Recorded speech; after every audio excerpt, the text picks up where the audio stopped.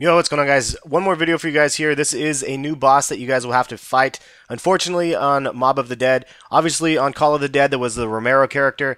And in this one there's a big looking juggernaut and uh, the dude is a monster. From what the guy says he can lock your perk machines and he can lock the mystery box. So and then you have to pay to get it unlocked, I guess. Um, I'm really looking forward to seeing what this is. I'm kind of bummed to hear about this because it sounds like a royal pain in the backside.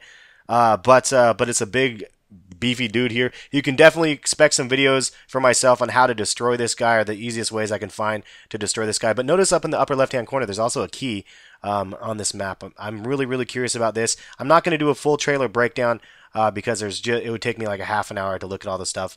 Uh, but I figured I'd give you guys the highlights from the um, video that we saw today. And here at the end is going to be the guy speaking on what this was. Subscribe if you guys are new to my channel and looking forward to the new map pack. Hopefully you guys are as well. And later, guys.